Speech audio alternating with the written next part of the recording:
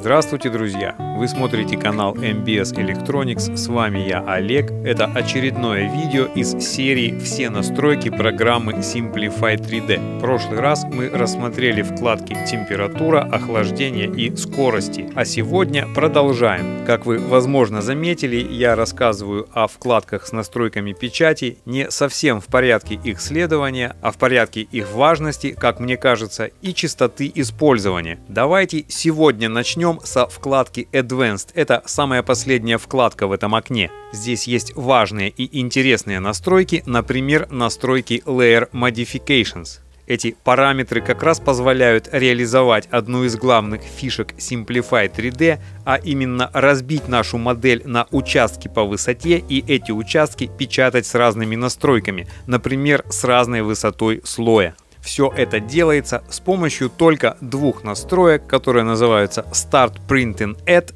и Stop Printing At что означает начать печать с высоты такой-то и остановить печать на высоте такой-то. Здесь имеется в виду начать и остановить печать именно данным редактируемым процессом.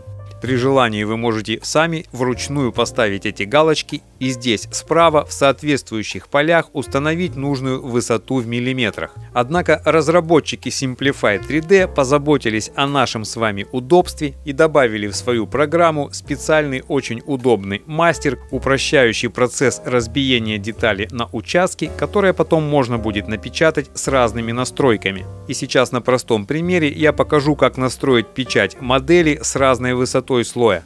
Пусть у нас есть процесс, вот этот, с которым мы сейчас работаем, текущий процесс, и эти вот галочки Layer Modifications у нас не установлены.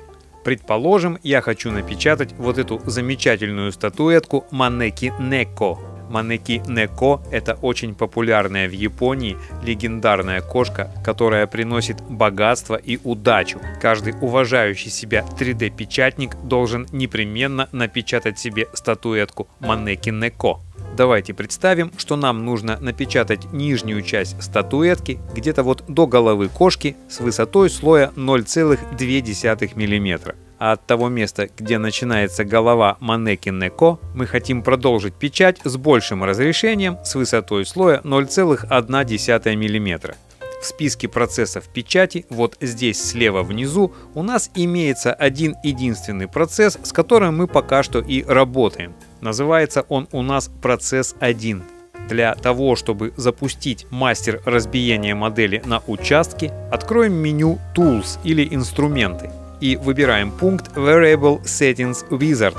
Открывается окно этого мастера или инструмента вот такое окно. В верхней его части можно выбрать рабочий процесс, если у нас их больше одного. И сейчас нам нужно определить высоту, участок, где будет происходить смена настроек печати. Я решил, что это будет место, где начинается голова манеки Неко. Вот здесь можно установить высоту с точностью до 1 сотой миллиметра. Пусть это будет 26,97 мм. Начиная с этой высоты, модель будет печататься слоем 0,1. Для того, чтобы сохранить точку разделения, нажимаем кнопку Add Location. В списке появляется наша высота 26.97. Так можно добавить несколько точек, столько, сколько вам нужно. Для завершения мастера нажимаем Split процесс, разделить процесс. После нажатия на кнопку у нас в списке процессов появляется 2 вместо одного. Мастер создал два процесса, которые называются процесс 1-1 и процесс 1-2. Два новых процесса являются практически полной копией исходного процесс 1 за небольшим важным исключением. Зайдем на вкладку Advanced процесса 1-1. Видим, что здесь автоматически установилась галочка и проставлена наша высота 26 и 97. Процесс прекратит свою работу на высоте 26 и 97. Теперь откроем второй процесс и тоже перейдем на вкладку Advanced. Мы видим, что у этого процесса поставлена галочка начало печати на какой-то высоте и эта высота автоматически установлена 26 и 97. Но пока еще в остальном, в самих настройках печати, оба этих процесса совершенно одинаковы. Нам осталось настроить параметры процессов под наши задачи. Итак, этот процесс будет задействован с этой высоты. Давайте зайдем во вкладку Layer, то есть слой, и установим высоту 0,1 мм. После этого нажмем кнопку Update профиль, чтобы сохранить изменения. Выходим из настроек, нажимая ОК. Давайте проконтролируем наш первый процесс, который будет печататься первым. Видим, что все хорошо, у нас высота слоя осталась 0,2. Хорошо, давайте нажмем кнопку Prepare to Print, то есть запустим слайсинг. Появляется дополнительное окно, поскольку у нас не один процесс, а два. Здесь нужно выбрать оба процесса, нажав на кнопку Select All и дальше нажать на кнопочку ОК. Наша модель подготовлена к печати. Видим, что у меня включены элементы поддержки для печати этой киски. Давайте увеличим масштаб отображения нашей детали. Отлично видно границу, с которой начинает работать второй процесс. Здесь у нас идет печать с высотой слоя 0,2, а вот с этой точки начинается печать высотой слоя 0,1 и до конца печати. Конечно же, менять вы можете не только высоту слоя, а вообще любые настройки печати. То есть разные участки модели можно напечатать с совершенно разными настройками. И это, конечно, офигенно круто.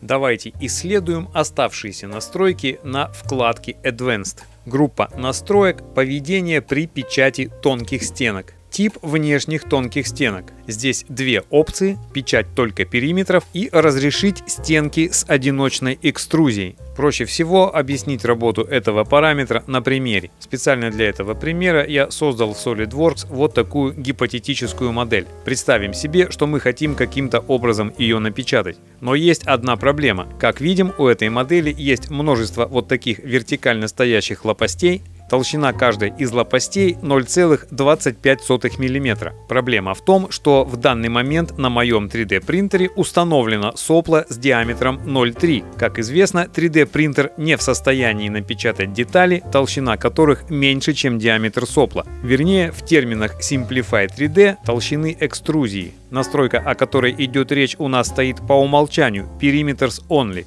Давайте попробуем отслайсить модель с такими настройками. Нажимаем Prepare to Print и видим, что лопасти у нас программа исключила из печати. Их невозможно напечатать с правильными размерами, потому что толщина их меньше, чем диаметр сопла. Но предположим, я все-таки хочу их как-то напечатать, пусть их толщина реальная будет больше, чем та, которая задана в модели. Давайте вернемся к этой настройке на вкладке Advanced и поставим вторую опцию Allow Single Extrusion Walls. Нажмем ОК и Prepare to Print. Теперь эти штуки все-таки напечатаются, но толщина их будет равна одной ширине экструзии. То есть вместо 0,25, как в модели, они будут напечатаны с толщиной 0,3. Ну или по крайней мере принтер хотя бы попытается их напечатать. Вот в этом состоит смысл данной настройки. Следующая здесь настроечка это Internal Thin Wall Type. Фактически это настройка печати заполнения тонких стенок. Здесь есть три опции. Опять же, только периметры. Дальше Allow Single Extrusion Fill, то есть позволит заполнение с единичной шириной экструзии. И третий вариант заполнения тонких стенок это Gap Fill. Это как раз то, что используется по умолчанию, то есть заполнение промежутков. Ну давайте опять посмотрим на примере. Предположим, что у нашего принтера сопла 0,4 и нужно нам напечатать вот такую деталь. Толщина вот этой вертикальной пластины 1,4 мм. Ну, давайте посчитаем. На печать периметра у нас уйдет 0,8 мм, то есть 0,4 э, умножить на 2, и остается промежуток между стенками толщиной 0,6, который принтер должен каким-то образом заполнить. То есть в расстояние 0,6 не укладывается целое число линий толщиной 0,4. Данный параметр как раз и позволяет сказать слайсеру, что делать в такой ситуации. Давайте выберем тот вариант, который обычно стоит по умолчанию, то есть заполнять промежутки. Нажимаем Prepare to Print и видим, что получилось. В общем-то, это обычная знакомая картина, так слайсер всегда поступает по умолчанию. Заполняет промежуток вот такой змейкой. Давайте вернемся в настройки и поменяем на Perimeters Only. Здесь слайсер не создает вот эту змейку заполнения, он просто печатает вот такие концентрические полоски, только периметры. Третий вариант заставляет слайсер попробовать заполнить промежуток одной единственной линией. В этом случае принтер попытается заполнить промежуток одной линией с повышенной толщиной экструзии. Если позволит сопло, то при печати этой центральной линии принтер попробует выдавить больше пластика. Думаю, что это очень полезные настройки при печати тонких стенок. Нужно попробовать их поприменять. Следующий блок параметров – это настройка как раз вот этой одиночной экструзии, о которой мы только что говорили относительно предыдущих параметров. Минимальная длина экструзии. Если ожидаемая длина линии меньше этого значения, то она печататься не будет минимальная ширина печати сегмента. В данном случае по умолчанию стоит 50%. Если ожидаемая толщина элемента будет меньше 50% от номинала, от установленной ширины экструзии, то такой сегмент печататься не будет. То же самое, только максимальная ширина печати. Если ожидаемая ширина будет 200% и больше, то, наверное, можно проложить две линии с номинальной шириной. End Point Extension Distance – дополнительные расстояния для конечных точек. На это расстояние удлиняется каждый вот такой элемент одиночной экструзии. Это делается для улучшения их связи или сцепления с остальной моделью.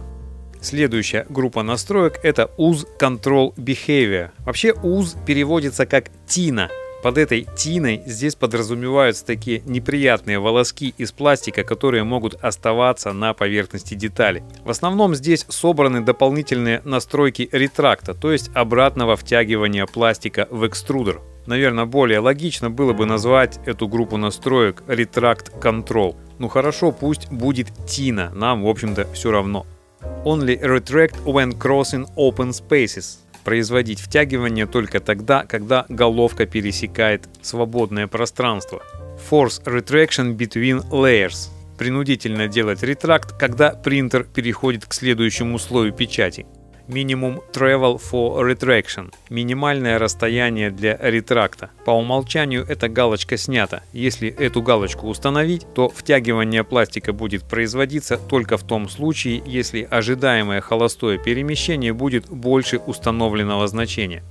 Perform Retraction During Wipe Movement. Про Wipe Movement мы с вами уже говорили во время обзора других вкладок с настройками. Это движение экструдера в конце печати линии, когда, когда подача пластика принудительно не производится, а печать идет как бы по инерции. Вот пластик выдавливается еще по инерции. Для таких перемещений можно еще и включить втягивание пластика принудительное вот этой галочкой. Иногда это может быть полезно для улучшения качества поверхности печати, например, вот таких цилиндров. Для уменьшения таких характерных пупырышек или волосков. Это вот как раз и есть та тина или уз.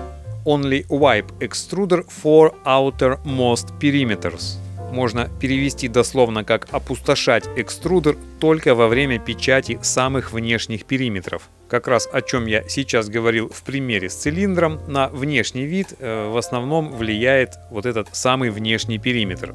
Movement Behavior или поведение при перемещении. Здесь можно установить галочку Avoid Crossing Outline for Travel Movements предотвращать пересечение контура деталей при перемещениях. Если поставить эту галочку, то все перемещения будут создаваться таким образом, чтобы предотвратить пересечение головкой контура модели. Никогда не использовал эту настройку, пока что мне непонятно зачем это нужно. И последняя здесь группа настроек это Slicing Behavior, то есть настройка дополнительных параметров поведения слайсера. Первый параметр здесь Non-Manifold Segments. Этот параметр относится к тому случаю, когда мы пытаемся напечатать модель, в сетке которой есть какие-то недостатки или косяки. В данном случае не сходящиеся, не замкнутые сегменты. И здесь можно выбрать, что с такими сегментами делать. Можно выбрать или починить, вылечить, то есть heal, как по умолчанию, или можно их discard, то есть выбросить. Галочка Merge all outlines into a single solid model. Если я правильно понял, это относится к тому случаю, если в модели есть незамкнутые поверхности. Если установить эту галочку, то слайсер попытается сшить все эти поверхности в единое целостное тело, пригодное для печати. Почему-то по умолчанию эта галочка не установлена. Может быть как раз в этом кроется причина того, что многие 3D модели, скачанные из интернета и фактически являющиеся дефектными, как-то нормально печатаются из других программ, а в Simplify 3D печатаются некорректно. Наверное, нужно попробовать всегда устанавливать эту галочку. На этом я закончу сегодняшний ролик по Simplify 3D. В следующем видео по этой теме мы с вами продолжим изучать эту замечательную программу. Напомню, что вы можете подписаться на канал MBS Electronics, чтобы не пропустить обновлений. С вами был Олег. До свидания, друзья. Всех благ.